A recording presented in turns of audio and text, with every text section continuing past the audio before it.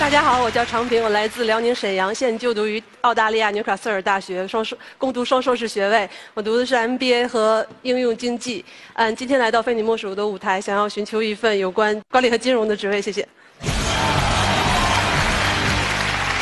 欢迎常平，你好，你好，常平的，来再握一下，握手非常有力啊。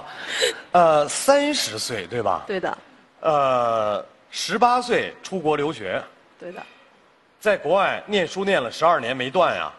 基本上没断，中间断了一段。就是十八岁是出去念什么？我去了之后先念语言学校呀，十八岁是去哪个国家？啊，嗯，爱尔兰，爱尔兰。嗯念语言学校。对。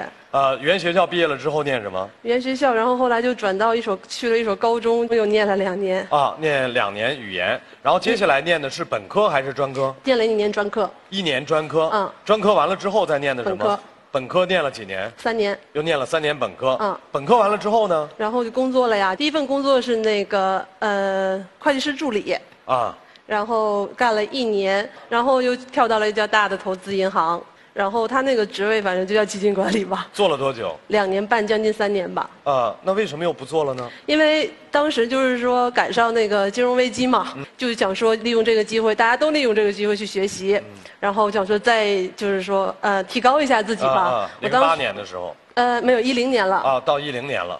对，然后一零年四月份我就去了澳大利亚，因为当时大家都说澳大利亚特别好，然后我就去了、在澳大利亚念硕士。硕士，对，啊，就专业是了硕士嘛，就是那个 MBA 和应用金应用金融。MBA 和应用金金融融硕士两个，啊，两个硕士。对，你为什么现在想到要回国内找工作了呢？硕士都念完了，我就觉得差不多了呀，嗯。然后工作经验也差不多了，我就想说回来试试，冒昧的问些私人问题，嗯。结婚了吗？没有，还没有结婚啊？没有。啊，今天幸亏慕言没有来，要不慕言来的时候，马上就该有张罗人我有注介绍了啊。我有注册他那个网站，没有找到，啊，他注册了慕言他们的网站，但是没有找到。不是比较我自我自己不相信网恋这件事。儿，啊。呃，现在要呃要找这份工作，咱们这样啊，嗯，薪金要求。我现在呃，我想要八千，想要八千，嗯，想做金融这方想面想做金融，嗯，因为我在大的基金公司做过嘛，然后就是说我我的主要的嗯经历和经验吧，都是关于基金管理这一方面的，所以我觉得如果要是做像 IPO 准备上市啊这样的，或者说是资产基金管理，我应该都没有什么问题，就是至少可能会有一些不同，因为国内和国外毕竟不同嘛，但至少应该接触的还比较。虽然我听不懂，但是他们可能有能听懂的人。你给我们说一个你曾经做过的最大的项目。没，我们我的经验就是没有说做大项目的那样，都是基金管理，就是每天我们在股票市场和交易市场看到的价钱都是我们做出来的。嗯你的工作流程当中有任何需要你做决定的地方吗？有有的时候会有的，举例就是因为有的呃有的基金它是有一定的数额，它有上限的。如果超出这上限，你要决定你要放多把它放存进银行存多少天，然后存就是存多长时间，然后什么时候取出来，然后还有你要跟另外 取出来，取出取出来，然后还有就是说，当那个它成熟，就是当哎不对，就是还有还要决定，就是要跟对方的银行，就是你存进去的那个银行要讨论，更多是确认，其实跟你的呃背景知识这些也用不了什么背景知识。也也可以这么说，对。那那常平，只是我想问一句啊这是不是一个比较标准的？就是说这个流程不是你创造的，是一个对也不需要你有。创造性，就纯操作的。对。那国内你觉得有这样对等的工作吗？我现在就知道，可能到付银行是现在做跟我这个应该是蛮对口的，呃，金融有没有国内的一些就暂时没有。必须要考的考试？呃，我不知道国内要有什么考试，你了解过吗？现在还没有在了解这件事。现在还没有了嗯。解，但是你觉得你自己以前的经验够丰富？对好，我想问别的，嗯我不懂基金啊，哎然后那个，然后你也不懂吧，邵刚？你觉得呢？你敢说你懂吗？呃，反正我能都能听懂，我们能对话，你看对话多流利啊！用英文。什么用英文？在我们的国家，我凭什么要用英文？邵刚，我看到你这个有很多什么双硕士啊，然后在国外的这样的一个经历，嗯。但是我觉得你身上没有那种就是变态女白领的那种感觉，就是操着那种呃散装英语。是对，而且呃我，你知道我最喜欢你说的一句话哪一句，就把它给求求出来。东西，我也是。把钱给所以收回来。我问他为什么不像我看到的那些人就变成那样好，了？对非常好。你为什么不使用散装英语？平时我觉得我心态还蛮蛮平稳的，就是说我不是说我从国外回来我就比人高人一等，我觉得大家都差不多。周围会不会有很多人说话的时候都是嗯那样比较少，有，但是非常少。我的同学，可我觉得人以群分，就是我的朋友可能都跟我应该是一样的。啊，就是凡是说散装英语，他们是另外一波。对，啊我是这么觉得的。咱们需要用的时候就把他们请出来啊。好，各位，现在呢，我们就是通过对长平的基础了解，大家要做出一个判断。呃，常平是一个专业求职者，所说的专业求职者就是他的专业和他想要找的那个工作，啊、方向是比较吻合的。但是从我们的理解角度，像我和李静这样的智商，又是很难理解的啊。呃，也许很多老板都理解不了。如果理解不了，提供不了，请离开。我再说一遍，张平，不是因为你不好，而是我们要找工作，选择。杨燕离开，毛毛离开，李静离开，王立成离开。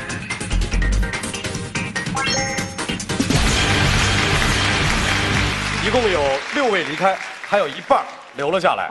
呃，努力证明自己的能力，天生我有才。Frank 想说什么？我想给常平一个建议。啊嗯，其实我觉得你非常好，专业能力也很好，但上来之后呢，你一直给人家的感觉，就像找工作这件事情，你不是最热衷，好像有点说啊，可能我再回去澳洲再看看怎么样。既然找工作了，既然开始了，就用多点力，是，好不好？如果国内找不到适合的工作，你对自己下一步的打算是什么呢？我我一般都做两手准准备。第二手就是说，因为我还要回去嘛，所以就是我也会继续找。如果实在找不到，我可能就看在澳洲能不能找得到。在澳洲也在找，在国内也在找。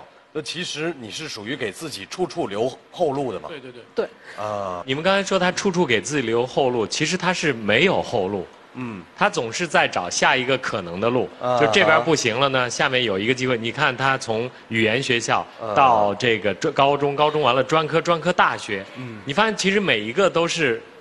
就没有一个系统在里面，都没有是计划反正现在能做一个，那我就上一个这个，嗯啊这边不行，我再到那边再上俩硕士。这个其实我我想知道你的个性，因为我感觉你学这个财务专业都学错了，我感觉你憨憨的，然后呢脑子也不是特别灵。其实我觉得做算术怎么这，么说话呢？怎么脑子不是特别灵啊？其实他不是说他不想找工作，他就是感觉可能会找不到。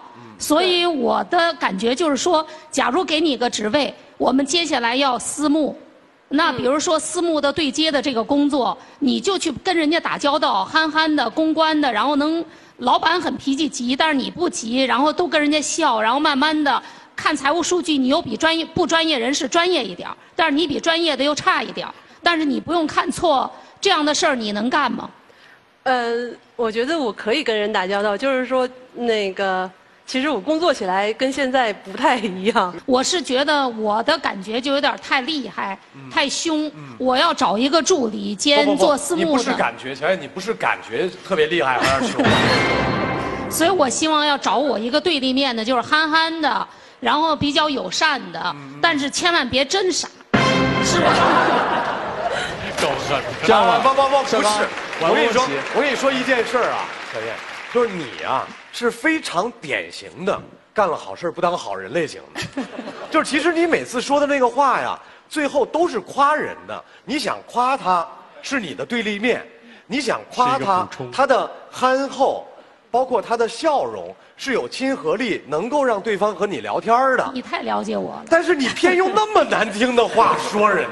但是实话实说，他那个工资我觉得有点太高了，因为我觉得他跟刚才那个两千的小孩儿除了学的时间长以外，但是我也不觉得应该是四倍的这个这个增长这。是你的考虑，一会儿大家可以在这个问题上聊。说实话，这工资不高。如果深圳是和投行对接人，他工资是年薪只有十几二十万美金的，这是常规的。所以说他的工资不是一个真正的投行对接人。但但是他真是他但是他所以我的问题是，涉及对接的时候开始问题。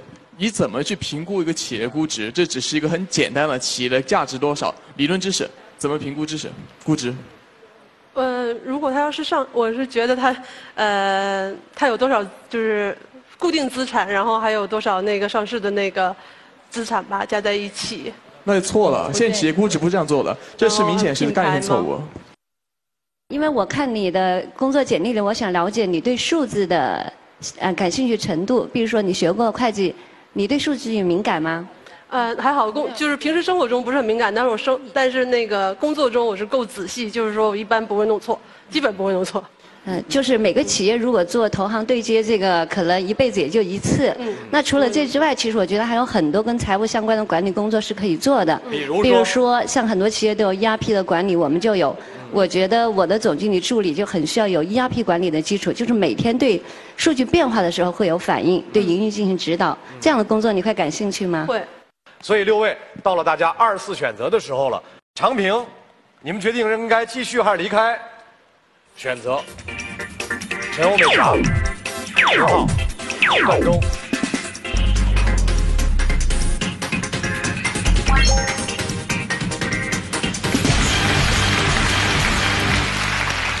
两家留了下来，分别是咖啡之翼和伊利诺伊，谈钱不伤感情。这样，先听听职位。我还是那句话，张平，来这块找工作，不管在哪儿找工作，在找工作的过程当中，都有你想的和实际的，这是两回事儿。我懂。明白我的意思哈？明白。来，咖啡之翼提供的职位。我给你提供的职位就是总经理助理。嗯总经理助理。对。啊，是你的助理吗？现在我需要一个营运助理。啊，就是在 ERP 上面写入进行管理的人。好。总经理助理，但是主攻的方向是运营 ERP 管理。对。好，来伊利诺伊。呃，董事长助理就是我，嗯，就是我的助理。哦，石小燕的助理，但是石小燕的助理不好当，因为石小燕的这个特点是这样的：第一，做了好事不当好人；第二，有好话从不好说；第三，脾气暴躁。就是到今天都还没有助理。对对，第四喜怒无常。其实小燕姐啊，就是一个心直口快的人。一般心直口快的人都心地善良。其实你们俩在秉性上很像。你说你们两个女的操什么心？我这还没，我这还没但是呢。但是没坏心眼儿。明白这意思吧？但是就前面说的这都是问题，但是没坏心眼儿，就使人和人表达方法不一样。心眼还好的很。对，石小燕偏偏就是个莽撞人，啊，不管，反正就是董事长助理，这就是总经理助理，谈钱的事儿，嗯，自己来。尹总，石总。好，尹总，您这边给的薪金是？呃，以你未来的发展来说，八千是可以的。但是现在你进入这个职场，只能从五天五千起，两个月试用期，包吃包住。好的，尹。石总，我跟那个呃尹峰的条件是一样的，嗯，也是包吃包住。试工期三个月。啊，包吃包住吗？包住不包吃。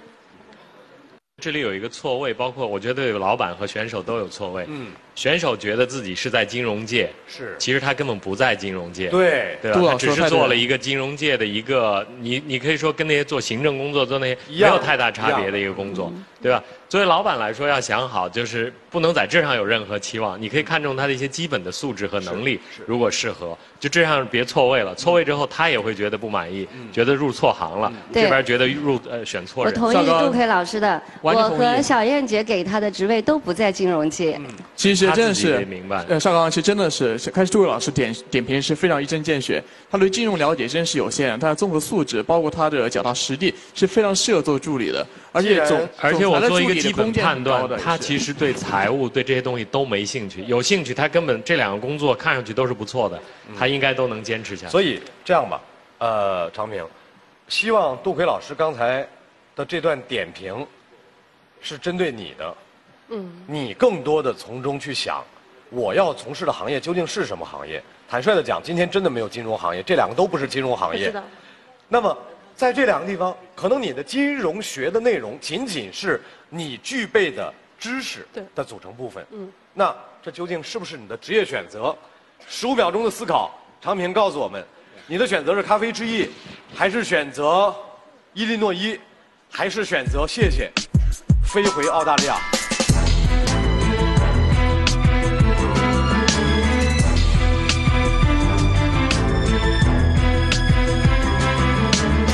咖啡之意。